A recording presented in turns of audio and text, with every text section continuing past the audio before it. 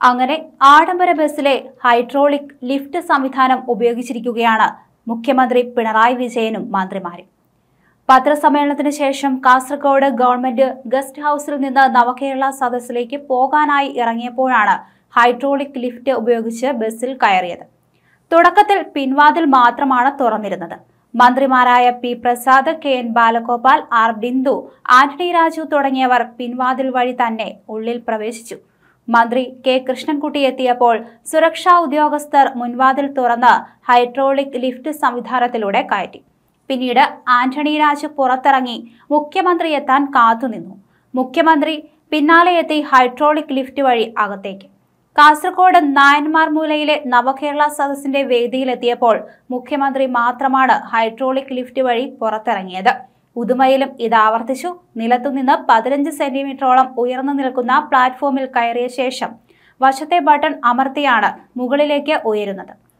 നവകേരള ബസ്സിനുള്ള ആഡംബര ബസ്സിന്റെ മുൻനിരയിലെ സീറ്റിന് നൂറ്റി എൺപത് ഡിഗ്രി കറങ്ങാനുള്ള അനുമതിയും വിജ്ഞാപനത്തിൽ നൽകിയിട്ടുണ്ടായിരുന്നു.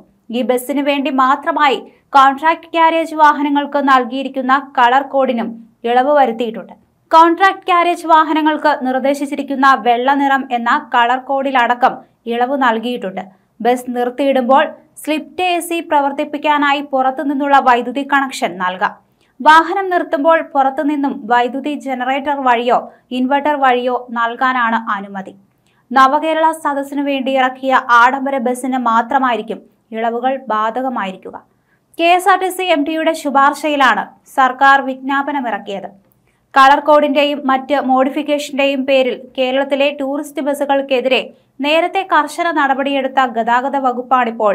സർക്കാരിന്റെ നവകേരള സദസ്സിനായുള്ള ആഡംബര ബസ്സിനു വേണ്ടി നിയമങ്ങൾ കാറ്റിൽ പറത്തി പ്രത്യേക ഇളവ് നൽകിയിരിക്കുന്നത്.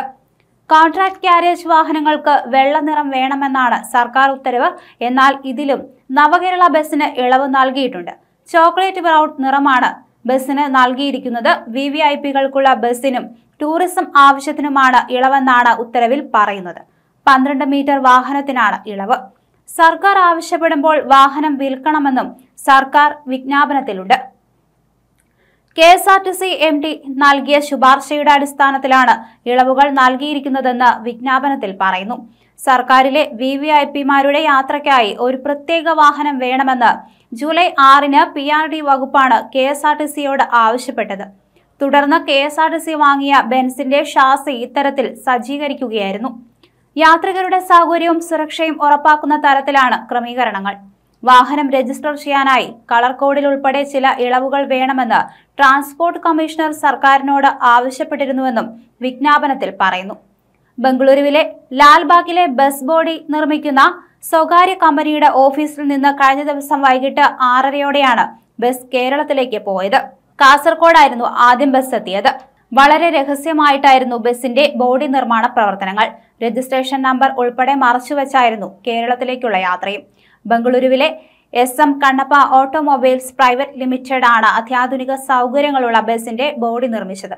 കറുപ്പു നിറത്തിൽ ഗോൾഡൻ വരകളോടെയുള്ള ഡിസൈനാണ് ബസ്സിന് നൽകിയിരിക്കുന്നത്. ബസ്സിന് പുറത്ത് കേരളം ദൈവത്തിന്റെ സ്വന്തം നാട് എന്ന കേരള ടൂറിസത്തിന്റെ ടാഗ് ലൈനും ഇംഗ്ലീഷിൽ നൽകിയിട്ടുണ്ട്.